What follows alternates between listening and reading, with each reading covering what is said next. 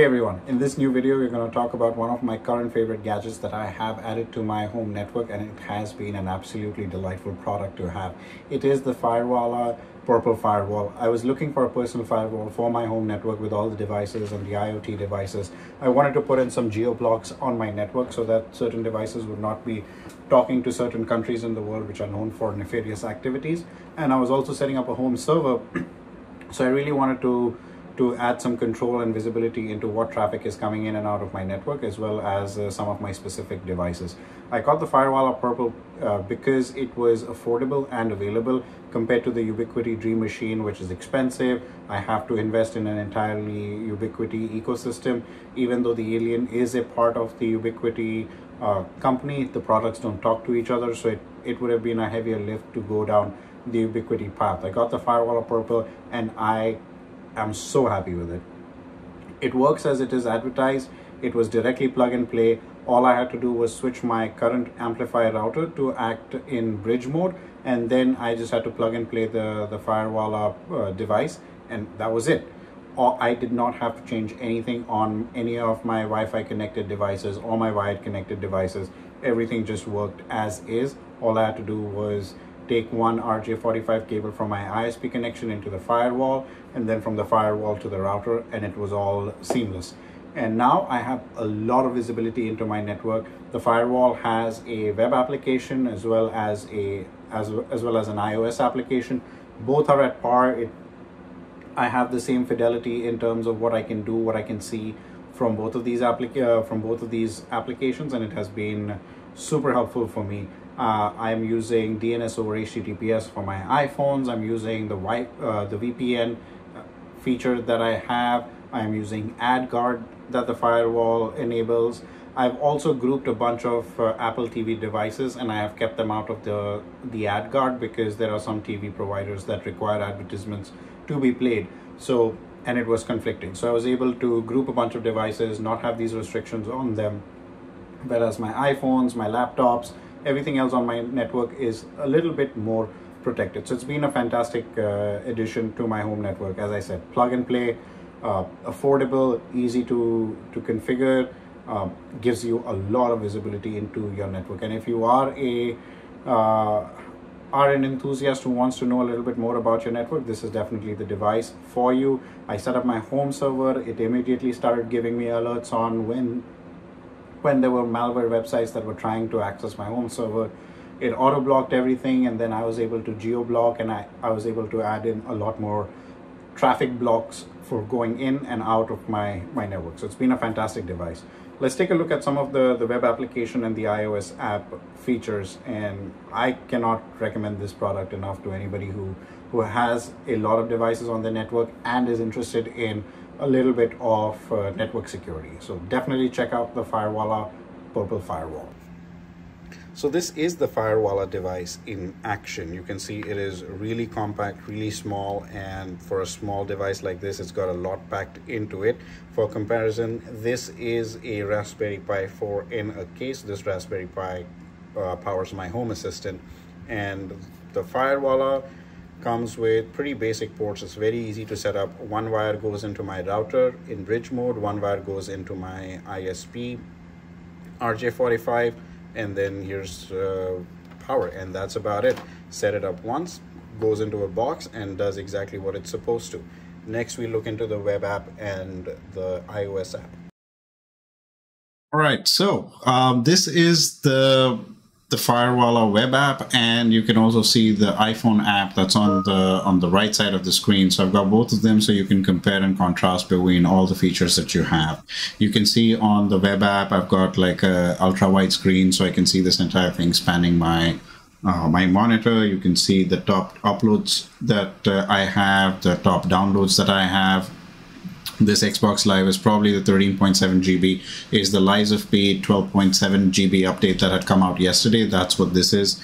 Uh, the YouTube up uploads are probably all the videos that I have been uploading for YouTube. You can see the top devices by download. Mark II is my uh, is my desktop. TrueNAS is my server. Home Assistant is my Home Assistant server. Uh, iPhone. So definitely, I'm a heavy user of uh, the downloads and the uploads on my network currently. You can see the data transfer speed, blah, blah, blah, all that good stuff. I've got the exact same thing um, with the, the with the blocked flows and all the other in- information on the iPhone screen as well as uh, on the web app. I think there's a little bit of a difference in some of the data, which uh, is probably just. Uh, it's interesting that there is some uh, deviation in the data. You can see 23% of the block flows here, but the phone app shows 26.1%. Uh, I don't know what is leading to that, but just something uh, to, to look into. I've got the network performance on my on my iPhone app. You can see the download speeds and the upload speeds. Uh, let's take a look at the devices tab.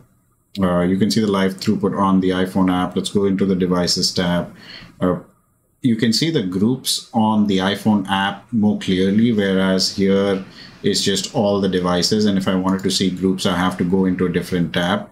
Uh, whereas on the iPhone app, I've got all devices, groups, and networks uh, just there as well. Um, let's see, target list. This is something that I am using quite a bit. Log4j, OISD, uh, what else? I think I'm using DShield and DNS over HTTPS as well some of the rules that I've got uh, set up. As I said, OISD, I've got it. I think I've paused it for some reason. It was because uh, Paramount Plus and some of the other ad networks are causing a lot of conflict. At one point, OISD wouldn't even let me go on LinkedIn on uh, on any of my devices, so I had to do some root cause analysis uh, by going into what was being blocked and why it was being blocked and then figuring out that I can allow that specific rule and that's how I was able to get LinkedIn on all my devices. I don't know why OISD was blocking LinkedIn. That's just something that uh, only they know. Uh, but anyways, uh, pretty interesting. You can see all the alarms that I've been getting. Um, as you can see, let's see. These are all the. Let's look at the blocked flows on my uh, on the iOS app. So you can see that CenturyLink was blocked. I can allow it, I can diagnose it, and it will tell me why it was blocked. Uh, blocked by firewall, uh, by Firewalla because blah blah blah. Bridge one is not open to external, so that's probably why it was blocked. Okay, that makes sense, and you can allow it. So yes, there are a lot of uh, things that have been blocked, but it allows you to go in and see what uh, why that particular traffic flow was blocked, and then you can allow it. That's how I knew why LinkedIn was being blocked uh, on my uh, on my devices. Uh, let's see, you can go through social, porn, video. You can figure out what network traffic is happening. You've got direct rules that you can apply on specific devices. So, for example, if on Home Assistant I wanted to do any of these blocks, I can just do them from uh, one tap and I can enable or disable them ad block is globally on. I can block all these different things. So it's pretty interesting that the iPhone app is very handy. It's very nifty. It is extremely user intuitive. Uh, it took me a little bit to figure out where I need to go to open certain ports and uh, uh, block certain ports, but the the documentation was helpful and it get, got me over that hurdle. But anything else outside of just specific configuration, all this data flow about the different devices, throughput, all these things. The app makes it super easy. The web interface makes it super easy.